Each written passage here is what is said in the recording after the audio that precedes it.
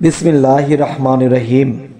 হে সমস্ত জগতবাসী যদি কোনো ব্যক্তি স্বপ্নে দেখে যে তিনি জান্নাতে প্রবেশ করতেছেন, তখন এটির কি ব্যাখ্যা হবে? এই স্বপ্নটির ব্যাখ্যা হবে যে আল্লাহ এটি তাকে সংবাদ দিলেন বা ইঙ্গিত করলেন যে এই ব্যক্তিটি দুনিয়াতে শান্তি ও নিরাপত্তা লাভ করবে, যাতে করে সে অনেক দুঃখ, কষ্ট সে এড়িয়ে থাকবে এবং আল্লাহ তাকে সাহায্য করবেন এবং সেই কর্ম সেই আমল, সেই, সেইভাবে তিনি চলাফেরা করেছেন। কারণ আল্লাহ তার উপর সন্তুষ্টি হয়েছে। যদি কোনো ব্যক্তি স্বপ্ন দেখে যে তিনি দেখতেছে তাকে জান্নাতে প্রবেশ করানো হচ্ছে, তখন এই ব্যক্তিটি ঘুম ভেঙে ব্যাখ্যা কি করবে?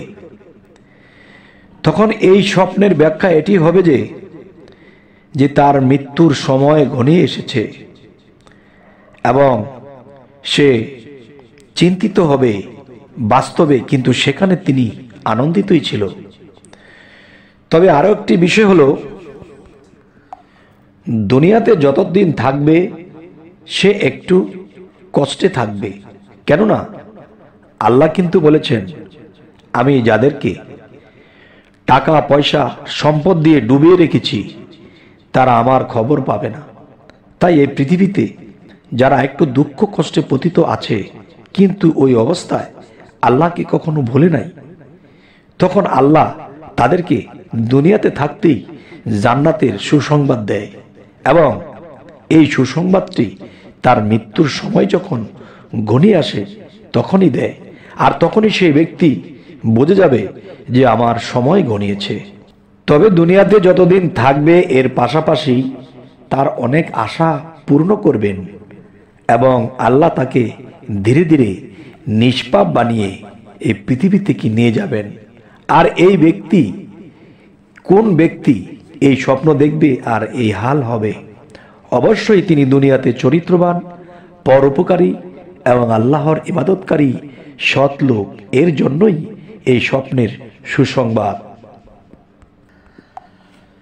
যদি কোনো ব্যক্তি এরকম স্বপ্ন দেখে যে তাকে জান্নাত দেখানো হচ্ছে এবং জান্নাতে প্রবেশ করার জন্য তাকে অনুরোধ করা হচ্ছে বা বলা হচ্ছে যে তুমি জান্নাতে প্রবেশ করো, কিন্তু সেই ব্যক্তিটি জান্নাতে প্রবেশ করতেছে না, তখন তিনি এমন অবস্থায় তার ঘুম ভেঙে গেল তখন এই এই ধরনের স্বপ্ন যদি কেউ দেখে, তাহলে সে ব্যাখ্যা কি করবে?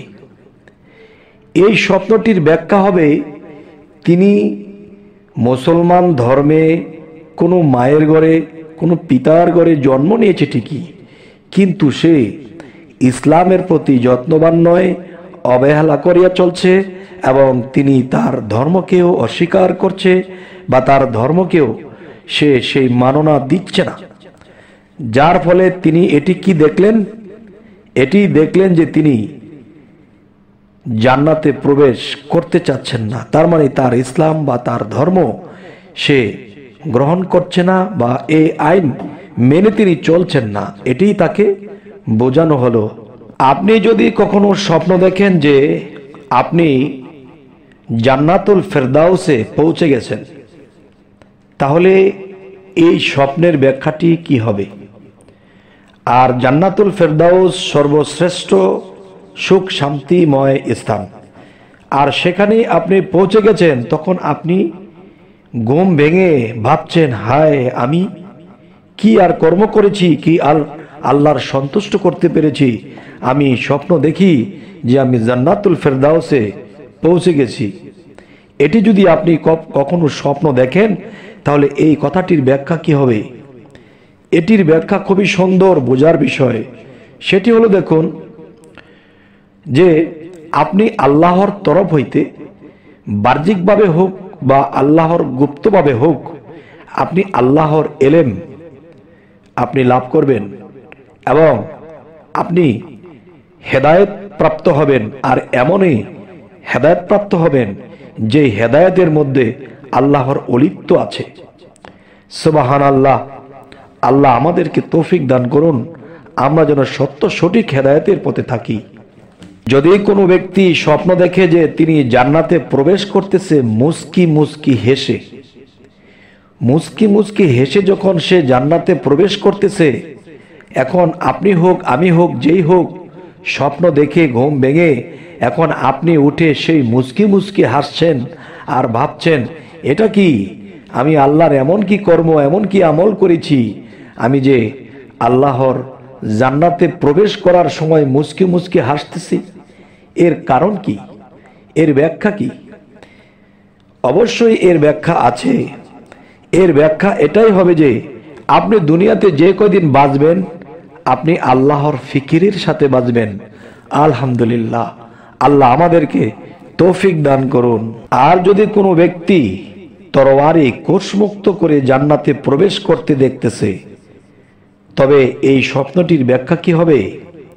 এই স্বপ্নটির ব্যাখ্যা হবে দুনিয়াতে যে, দুনিয়াতে এই ব্যক্তিটা যতদিন থাকবে, সে অসৎ কাজের নিষেধ করবে এবং সৎ কাজের দিকে তিনি মানুষদেরকে প্রবেশ করাবেন এবং নিয়মিত তিনি সুনাম খ্যাতি অর্জন করবেন এবং পুরস্কার পাবেন।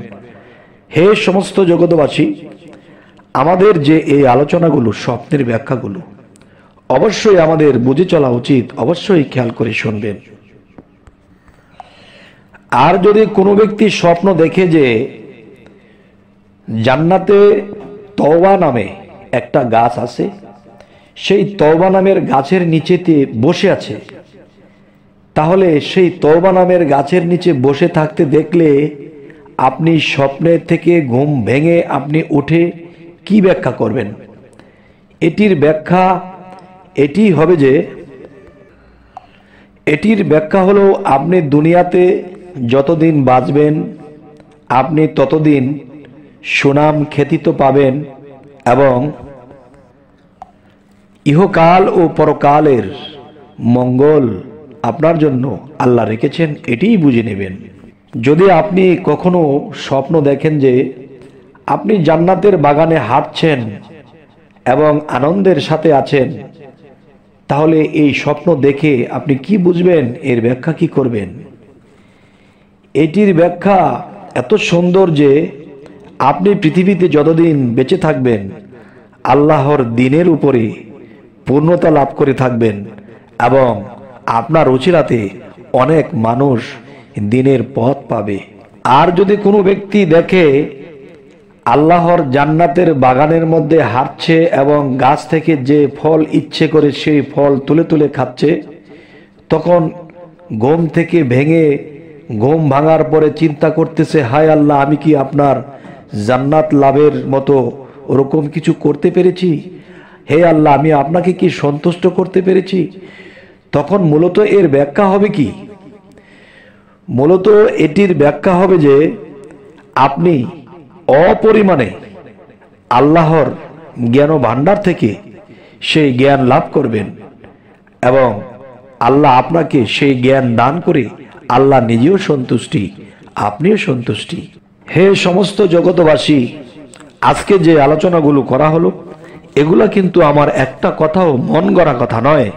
যেই কথাগুলো মানুষ জানলে, যেই কথাগুলো মানুষ মানলে অবশ্যই তিনি লাভবান হবেন এবং এই কথাগুলো সম্পূর্ণই কোরআনের ব্যাখ্যা বিশ্লেষণ করেই বের করা হয়েছে।